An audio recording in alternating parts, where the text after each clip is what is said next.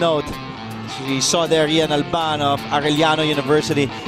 Mikey, as we finish the elimination round, it will be another exciting one after this. And then on Thursday, it will be San Beda and Lyceum. Big, Round big two game. That's right. Thank you, Mike. As always, pleasure working with you. For Chase Orozco, Mikey Reyes, our director Raul De Ocampo, our game producer Mark Morado, I'm Andre Felix.